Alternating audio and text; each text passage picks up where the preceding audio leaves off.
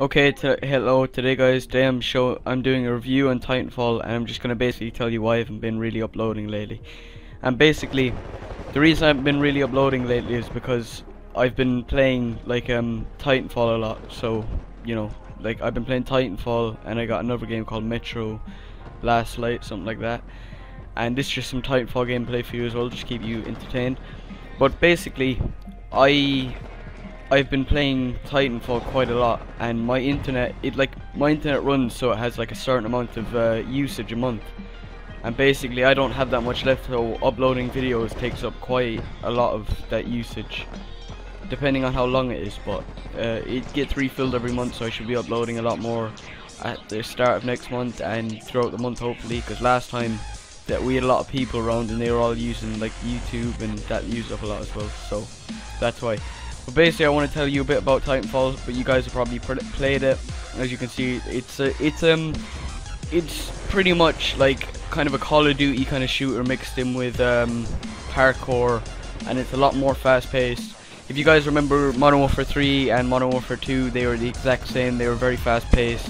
But in this one, you can get around the map, and you have to use parkour to your advantage. So if you if you're not like if you don't use parkour, then you're literally you're not going to get far in this game. And basically I don't have the best weapons at the moment in this game because I'm after prestiging. I've only had it about 2-3 weeks but it's very it's easy to rank up when you play the right game modes and all that kind of stuff.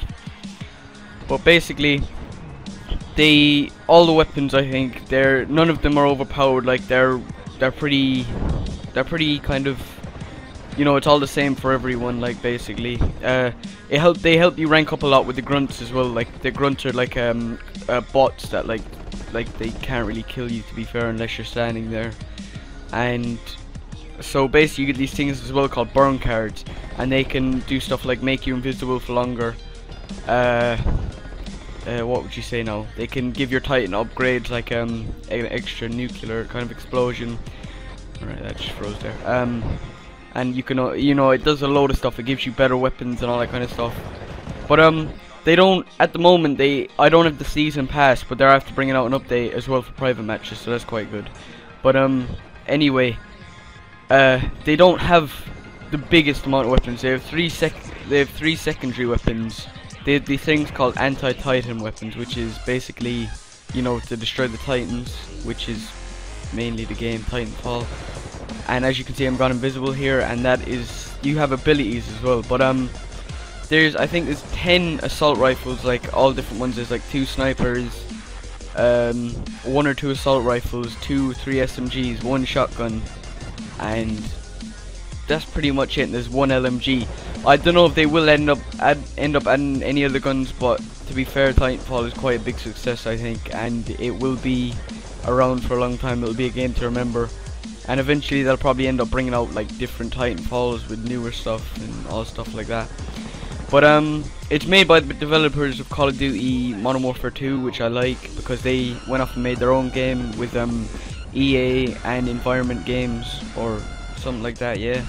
And they went in with other companies, and as you can see, I'm in a Titan right now, and it is pretty sweet. You can fire missiles and all that stuff. And basically, you can you can actually upgrade your Titan as well. You have different kind of bodies of it, like the the Titan I'm using now is like um kind of a how would you say a medium ar like it has medium armor. You can get one with a lot of armor, one with no armor but it's really fast, and one with kind of medium. See this guy? See the the spark the tar the Titan I'm in now. He's fast and he has a lot of armor, so that's quite cool.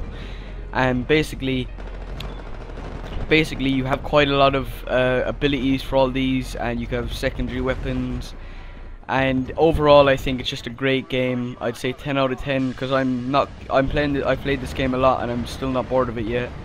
I got a pretty beast gameplay here. I come top of the leaderboard at the end as well which is pretty good. Can be beat down the titan. But um they have they don't have that many game modes in it at the moment either but like they have they all the game modes they have are really fun. They don't get boring. This game actually helps you rank up. It doesn't so basically if you're kind of a noob at the game you you like you have a bit of a an advantage like you don't have a bit of an advantage but like it helps you rank up rather than just leaving you there to kill other players and making it harder for you. It makes it quite fun. This game is enjoyable to play and I really love it. So basically guys that's really my review on it and uh, so that's it really. So thanks for watching. Rate comment subscribe if you like the video. Um, and basically just I'll try and upload more lately. More more yeah I'll just try and upload more. So thanks for watching. Rate comment subscribe. Leave ideas in the comment section or inbox me if you want me to do more tutorials. And goodbye